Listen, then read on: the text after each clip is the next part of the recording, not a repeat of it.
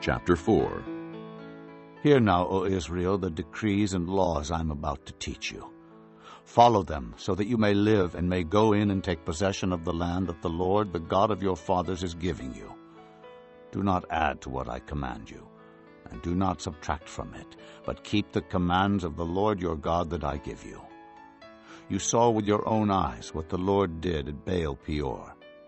The Lord your God destroyed from among you every one who followed the Baal of Peor. But all of you who held fast to the Lord your God are still alive today. See, I have taught you decrees and laws as the Lord my God commanded me, so that you may follow them in the land you are entering to take possession of it. Observe them carefully.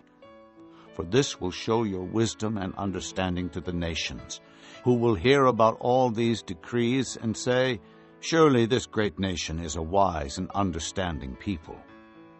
What other nation is so great as to have their gods near them the way the Lord our God is near us whenever we pray to him? And what other nation is so great as to have such righteous decrees and laws as this body of laws I am setting before you today? Only be careful and watch yourselves closely so that you do not forget the things your eyes have seen or let them slip from your heart as long as you live. Teach them to your children, and to their children after them. Remember the day you stood before the Lord your God at Horeb, when he said to me, Assemble the people before me to hear my words, so that they may learn to revere me as long as they live in the land, and may teach them to their children. You came near and stood at the foot of the mountain while it blazed with fire to the very heavens, with black clouds and deep darkness. Then the Lord spoke to you out of the fire. You heard the sound of words, but saw no form. There was only a voice. He declared to you his covenant, the Ten Commandments, which he commanded you to follow, and then wrote them on two stone tablets. And the Lord directed me at that time to teach you the decrees and laws you are to follow in the land that you are crossing the Jordan to possess. You saw no form of any kind the day the Lord spoke to you at Horeb out of the fire. Therefore, watch yourselves very carefully, so that you do not become corrupt, and make for yourselves an idol, an image of any shape, whether formed like a man or a woman, or like any animal on earth, or any bird that flies in the air, or like any creature that moves along the ground, or any fish in the waters below. And when you look up to the sky and see the sun, the moon, and the stars, all the heavenly array, do not be enticed into bowing down to them and worshiping things the Lord your God has apportioned to all the nations under heaven.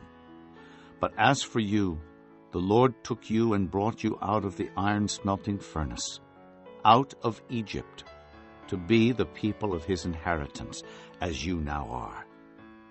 The Lord was angry with me because of you, and he solemnly swore that I would not cross the Jordan and enter the good land the Lord your God is giving you as your inheritance.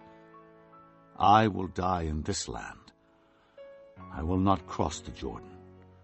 But you are about to cross over and take possession of that good land.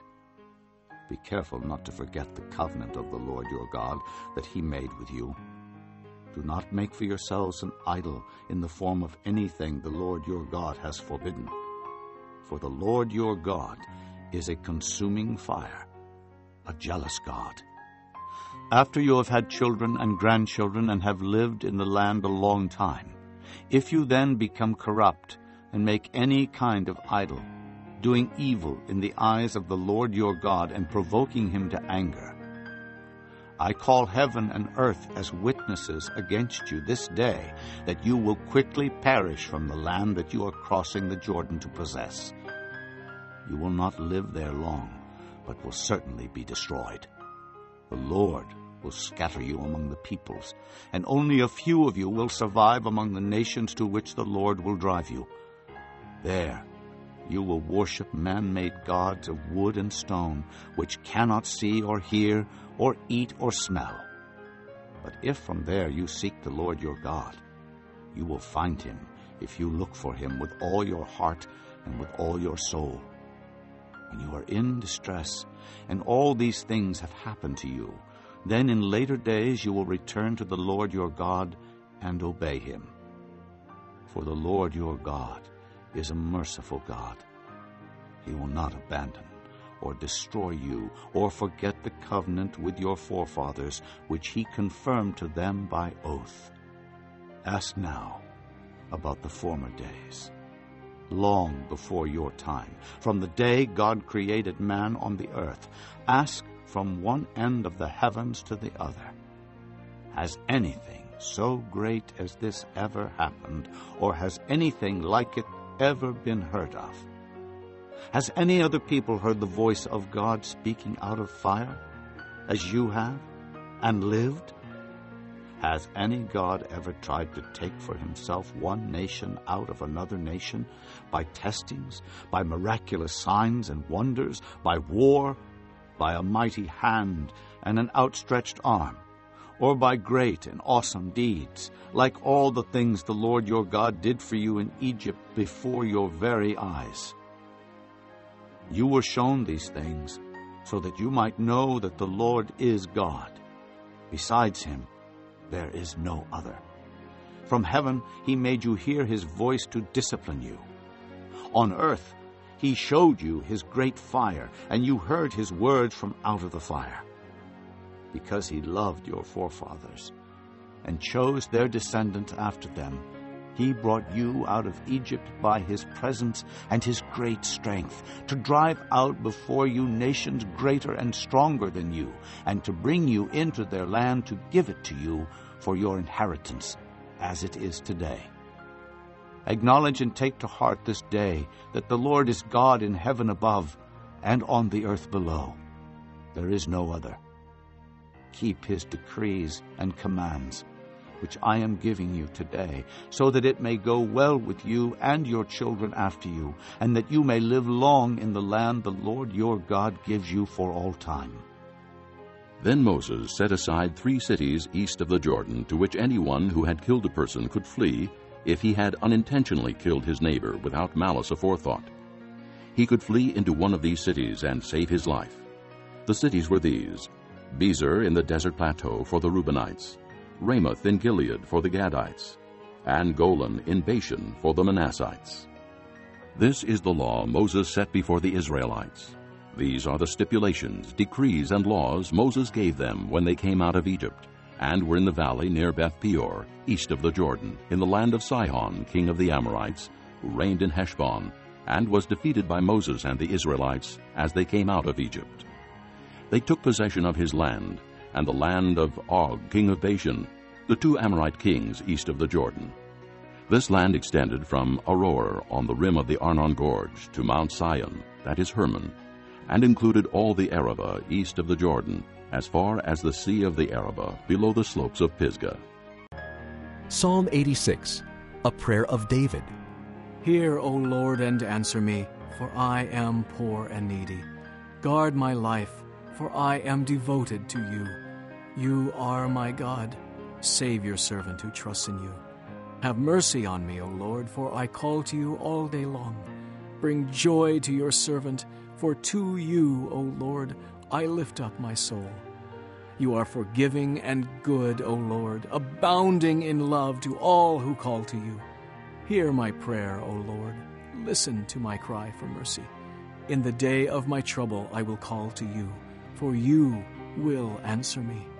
Among the gods there is none like you, O Lord. No deeds can compare with yours. All the nations you have made will come and worship before you, O Lord.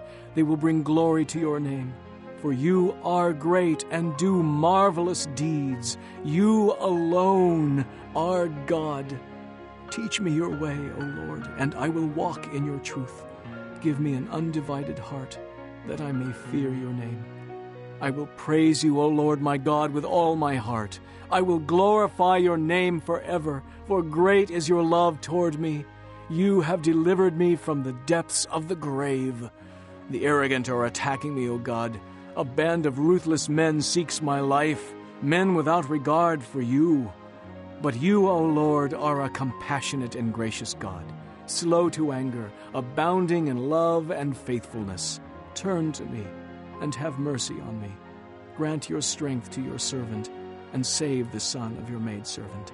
Give me a sign of your goodness, that my enemies may see it and be put to shame. For you, O Lord, have helped me and comforted me. Psalm 87 of the sons of Korah, a psalm, a song. He has set his foundation on the holy mountain. The Lord loves the gates of Zion more than all the dwellings of Jacob. Glorious things are said of you, O city of God. Selah. I will record Rahab and Babylon among those who acknowledge me, Philistia too, and Tyre along with Cush, and will say, This one was born in Zion. Indeed, of Zion it will be said, This one and that one were born in her, and the Most High Himself will establish her. The Lord will write in the register of the peoples, This one was born in Zion. Selah. As they make music, they will sing, All my fountains are in you. Chapter 32 See, a king will reign in righteousness, and rulers will rule with justice. Each man will be like a shelter from the wind, and a refuge from the storm, like streams of water in the desert, and the shadow of a great rock in a thirsty land.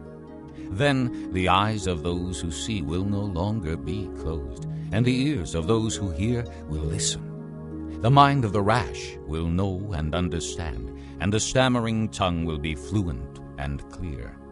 No longer will the fool be called noble, nor the scoundrel be highly respected.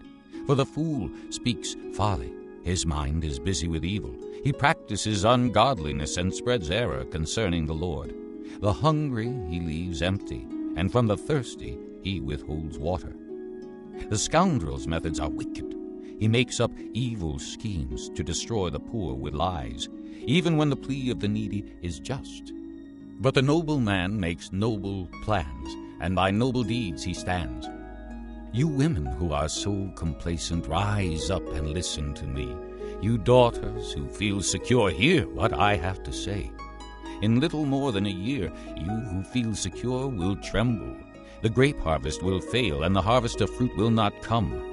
Tremble, you complacent women. Shudder, you daughters who feel secure. Strip off your clothes. Put sackcloth around your waists. Beat your breasts for the pleasant fields, for the fruitful vines, and for the land of my people.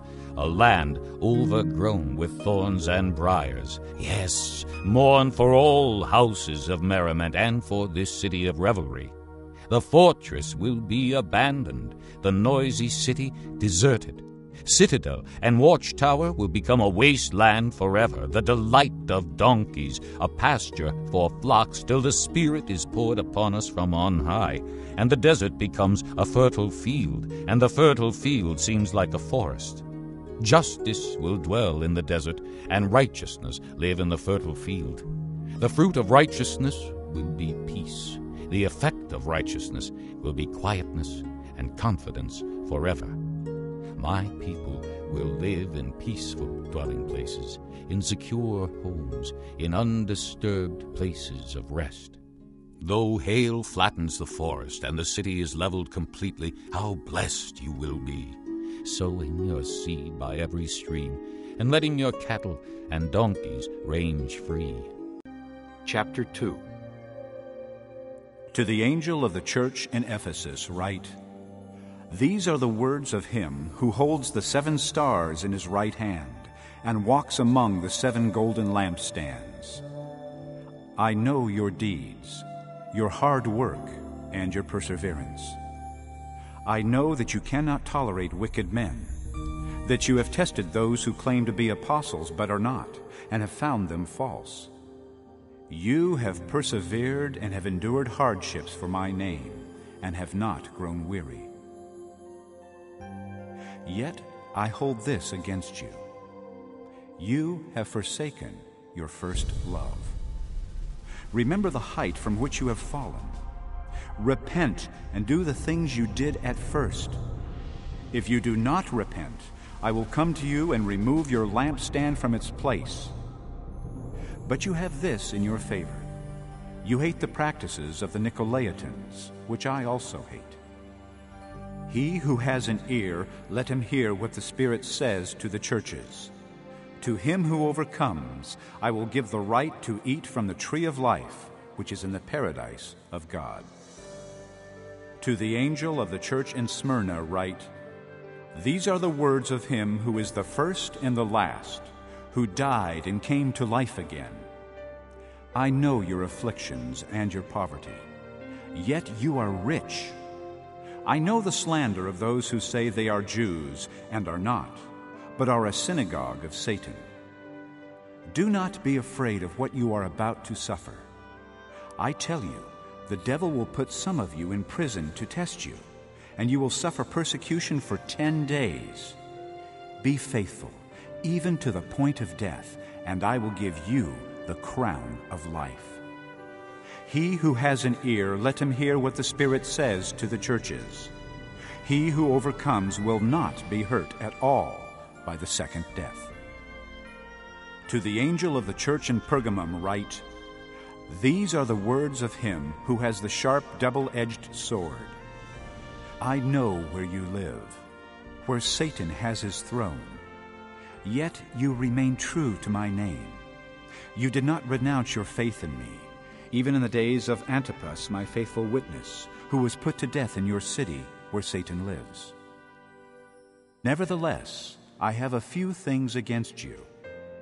You have people there who hold to the teaching of Balaam, who taught Balak to entice the Israelites to sin by eating food sacrificed to idols and by committing sexual immorality. Likewise, you also have those who hold to the teaching of the Nicolaitans Repent, therefore. Otherwise, I will soon come to you and will fight against them with the sword of my mouth.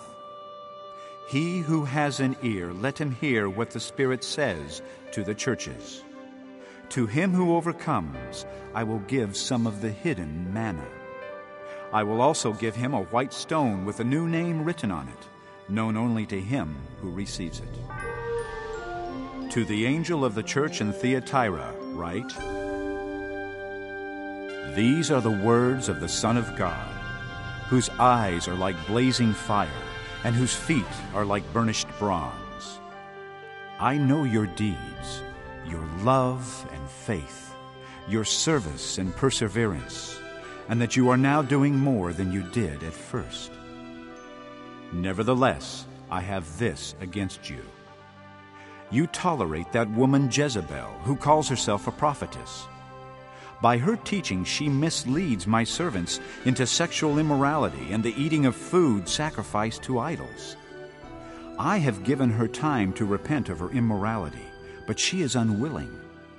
So I will cast her on a bed of suffering, and I will make those who commit adultery with her suffer intensely, unless they repent of her ways. I will strike her children dead then all the churches will know that I am He who searches hearts and minds, and I will repay each of you according to your deeds.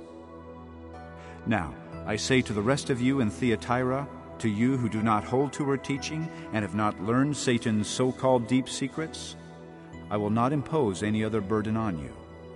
Only hold on to what you have until I come. To him who overcomes and does my will to the end, I will give authority over the nations. He will rule them with an iron scepter. He will dash them to pieces like pottery, just as I have received authority from my Father. I will also give him the morning star. He who has an ear, let him hear what the Spirit says to the churches.